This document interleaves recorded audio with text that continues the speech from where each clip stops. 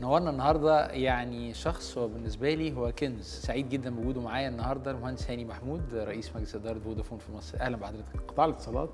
وتكنولوجيا المعلومات الدنيا بتتغير بسرعه غير طبيعيه مصر بعيده قد ايه عن او يعني قدامنا قد ايه ماشيين في الطريق ده ناقصنا ايه عشان نبقى زي اوروبا اللي هي فعلا كل حاجه كانها انترنت اوف ثينجز واوتوميشن والموبايل هو الحياه كامله النهارده بنتكلم على الاي سم بدل بقى ما يبقى عندك سم فيزيكال كده بتحطه في الجهاز لا هو الجهاز بيجي خلاص هو راكب فيه السم بتاعه فيرتشوال آه، آه، انا بحلم آه. او الفيجن بتاعتي كشركه